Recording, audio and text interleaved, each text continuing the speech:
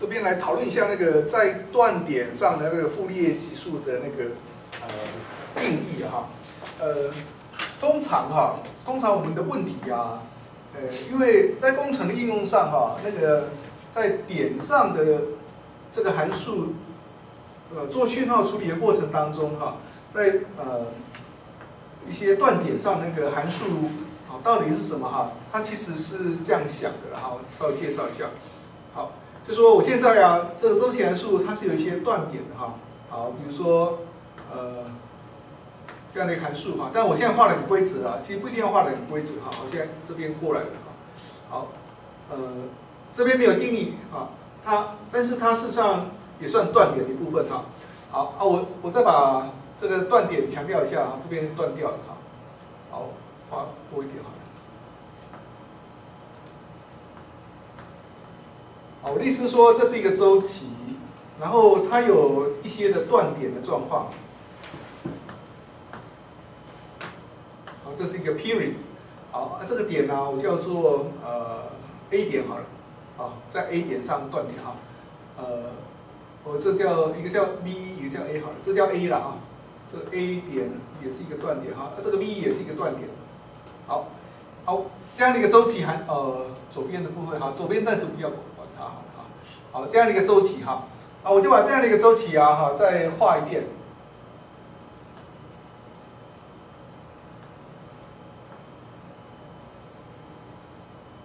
好再画一遍。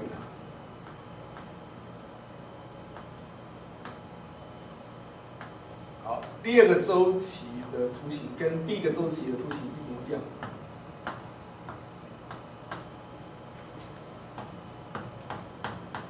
好，然后，呃，我们会问的一个问题是说，请问，呃，对了，这个断点地方我们最好还是稍微定一下哈。假设这个是空心的哈，它这边是实心的。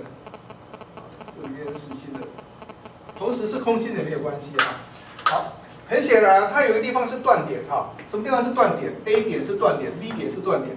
但是 A 点的断点比较一般，比较呃不会有什么太大的困扰哈，因为它是只有那个点没有定义。那事实上那个点的左边跟右边呢那个呃函数值是一样的哈。A 点的左边一点点的函数值跟 A 点右边一点点的函数值一模一样啊。虽然它是一个断点哈，如果人家问说，在断点上哈，A 点是一个断点哈，A 点的断点上，这个函数值要怎么怎么解释呢？哈，怎么样找它呢？哈，傅立叶级数的函数值是多少？这件事啊，啊，就是左极限右极限的平均值哈，左边一点点的高度啊哈，跟右边一点点的高度相加除以二就对了。对 B 点也是一样啊，对 A 点，因为左边一点点高度跟右边一点点的高度都一样高。哦，干脆给它一个值啊，叫 L。好，这个左边一点点高度是 L，右边一点点的高度也是 L，所以没有什么太大的困扰哈，反正就是 L。好，然后对 B 点来说，好，这个比较需要特别留意的哈。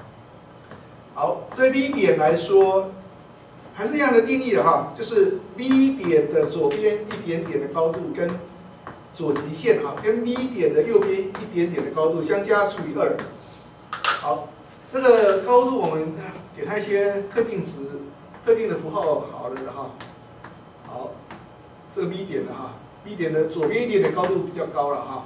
好，我叫做呃这个 n 好了哈。好，它右边一点的高度比较低了哈。好，叫做 n 好了哈。好，按照这个道理来说的话，那就是二分之一的 m。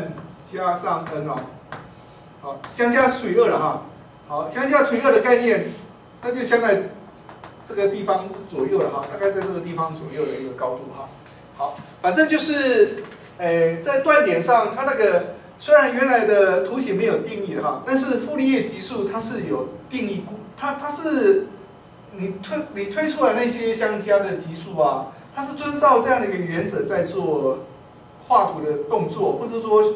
或是说了哈，做讯号处理的那个过程哈，讯号处理的过程哈，把所有的断点都当做连续点来处理。那连续点怎么处理这种断点的问题呢？就是用左极限跟右极限的平均值的的这样的概念来处理它了哈。这是我们需要留意的一个呃重点哈。啊，常常有一些考试，它就是要考你这个观念哈。好，比如说了哈，我现在有一个呃周期函数的图形是这样的一个变化。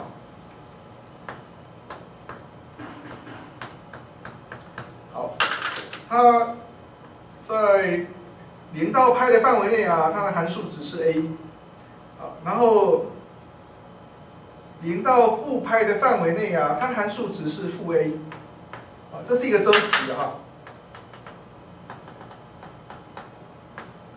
好，这样的图形必须要复制一遍、复制两遍哈，再往旁边画一下哈。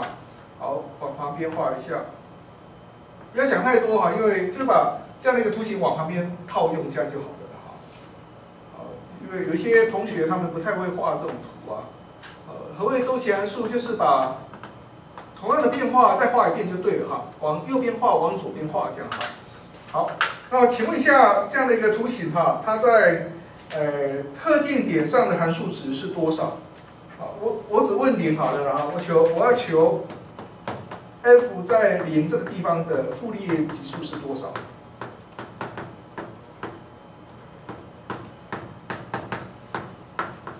那傅立叶级数的值啊，哈，它的函数值是多少？是我要问的。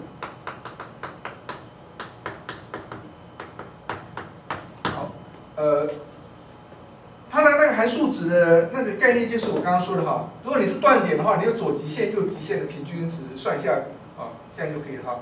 好，很显然，哎，呃，零零了哈，在零这个地方啊，它是没有定原来的问题没有定义哈，啊，因为傅立叶你用傅立叶级数来处理它的时候啊，哈。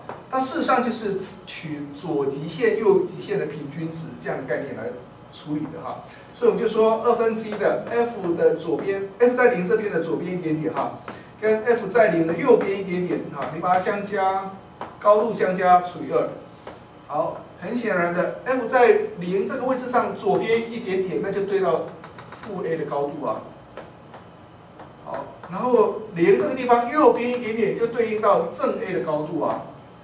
相加除以二是零。原来图形并没有定义它是零哦，但是你用傅立叶级数来描述它的时候，你就会画出零的这个结果哈。